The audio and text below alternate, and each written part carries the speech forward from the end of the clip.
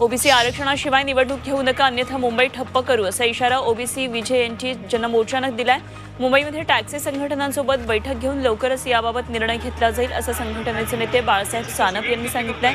आणि याबाबत धोरण ठरवण्यासाठी पुण्यामध्ये संघटनेची बैठक झाली.